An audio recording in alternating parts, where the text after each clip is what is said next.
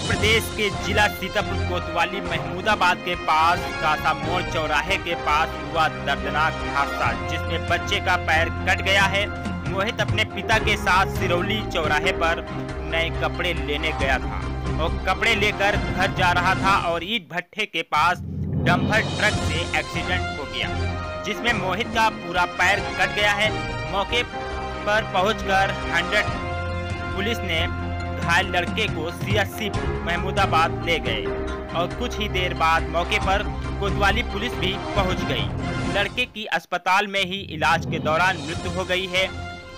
ज्ञानू कुमार दीक्षित की रिपोर्ट सीतापुर।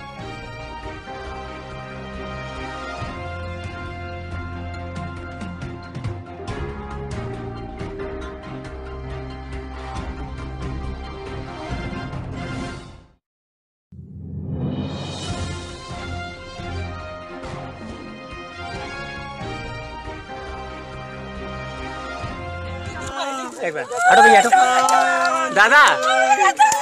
दादा। अरे झापो यार, इसको झापो। इसको झापो इसको झापो। इसको झापो।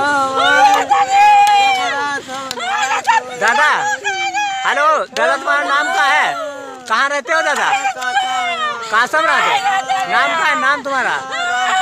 राम कुमार पिताजी का क्या नाम है? मुन्ना। लड़के का क्या नाम है? मोहित। मोहित, तुम्हारा लड़का है? कहाँ जा रहे थे? कपड़ा लेने कपड़ा लेने गए थे। अच्छा काहे से एक्सीडेंट हुआ कुछ जानकारी है?